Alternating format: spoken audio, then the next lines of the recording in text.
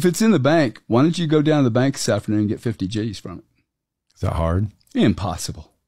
Okay. Not only is it They- they- impossible they- to get 50 grand. Well, I've called not them. and They just said they need time. Oh yeah, they need time because they're not carrying cash because they're fractionalized banking.